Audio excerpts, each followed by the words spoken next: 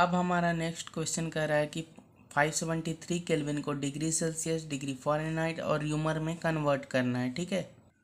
तो हमारा दिया गया रीडिंग केल्विन में है और हम लोग ये जानते हैं इस बात को। नाउ अब हम लोग को सबसे पहले डिग्री सेल्सियस में निकालना है तो degree Celsius minus zero by hundred minus zero कर देंगे।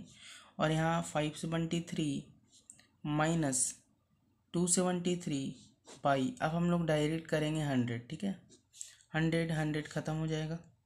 यहाँ डिग्री सेल्सियस में आ जाएगा। और फाइव सेवेंटी थ्री में से टू सेवेंटी थ्री गया तो कितना बचेगा? Three hundred. और ये हमारा डिग्री सेल्सियस में आंसर आ गया। कोई दिक्कत आई थिंक नहीं होगा। उसके बाद हम लोग सॉल्व करेंगे फर्दर डिग्री फॉरन हाइट में। तो degree Fahrenheit minus thirty two by one eighty कितना होगा?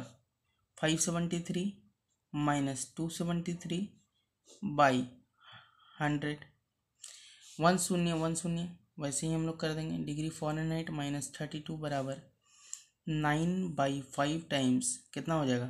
थ्री हंड्रेड फाइव से इसको कर सकते हैं ना?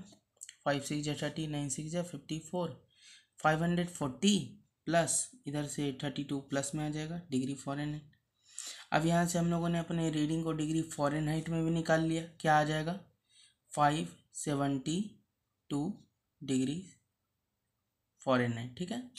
अब हम लोग र्यूमर में बात करते हैं। अगर रीडिंग हमको र्यूमर में निकालना है तो हम लोग र्यूमर में जानते हैं कि उसका आइस पॉइंट क्या होता है? ज़ीरो। पेपर पॉइंट एट्टी होता है और ये ज़ीरो होता है, ठीक है? उसके बाद अगर हम लोग किसी भी, किसी को भी ले सकते हैं तो थ्री हंड्रेड ही ले लो। मान लो मैंने डिग्री सेल्सियस में क्या, आप बाकी दूसरे यूनिट्स में ले लेकर भी ट्राई कर सकते हो, ठीक है? तो यहाँ देखिए तो र्यूमर में आ जाएगा क्या? थ्री गुने एट्टी यानी टू फोर्टी र्यूमर। ठीक है, आगे हम लोग और क्वेश्चंस प्रैक्टिस करने वाले हैं, फिर मैं आपको भी दूँगा प्रैक्टिस करने के लिए। Thank you